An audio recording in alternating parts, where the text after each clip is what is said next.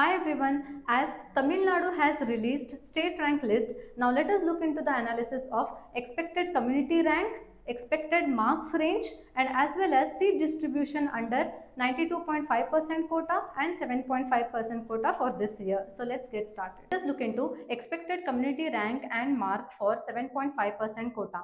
Coming to the first category that is open category nothing but GM. Here the reservation is 31%. Total number of seats under 7.5 government seats are 95. Then coming to self-finance uh, which is nothing but um, government in private which are the government seats itself.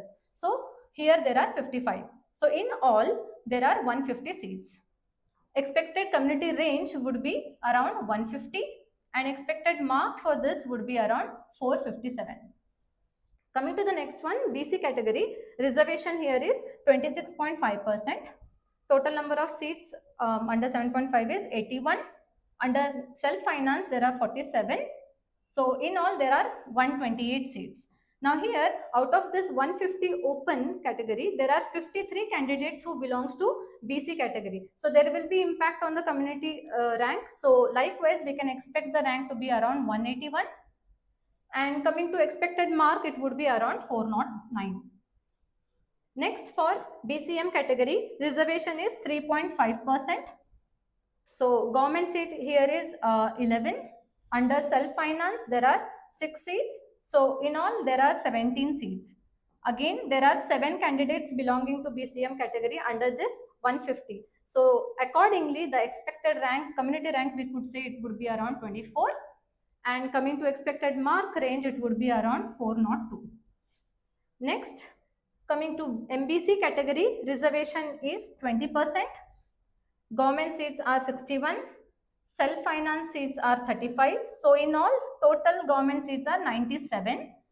So again here also among this 150 there are 80 candidates belonging to MBC category. So there will be an impact on the ranking. So community ranking we could expect around 176 and expected mark range would be around 431. Next coming to SC category, reservation is 15.12%, government seats are 46, self-finance seats are 27, so in all there are 73 seats.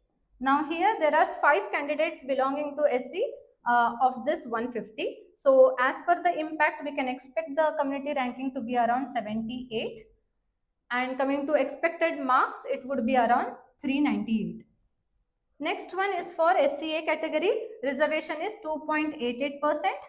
Government seats are 9 here. Under self finance there are 5 so total there are 14 seats now then again of which uh, 150 there are two candidates belonging to this sca category so accordingly we can expect the community rank around 16 and expected mark range would be around 393. Lastly, coming to ST category, reservation is 1%, government seats are 3, under self-finance there are 2, so in all there are 5 seats. So of this 150, there is one candidate belonging to ST category. So likewise, there will be an impact on community rank and it would be around 6 and expected mark would be around 389. So based on the state rank list released by Tamil Nadu today, these are our predictions when it comes to expected community rank as well as expected marks for this year. Thank you for watching.